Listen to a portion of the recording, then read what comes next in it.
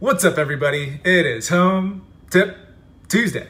All right, there are rumblings around the country that there are shifts in our market taking place. So let's take a look at the Tulsa real estate market's performance for April 2022. Okay, here's the chart for last month's sales data.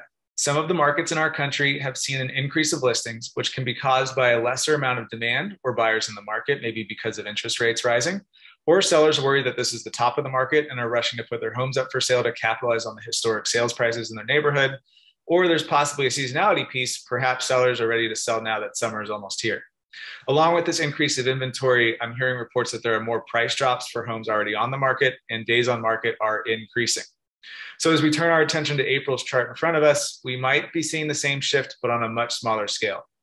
We see new listings about what they were last year, pending listings below what they were last year, and our market supply of inventory has ticked up just a bit from March's data, which was 0.85, but still, this is a historically low number.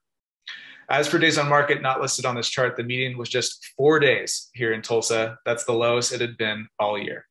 All right, hope this helps. I'll see you next week.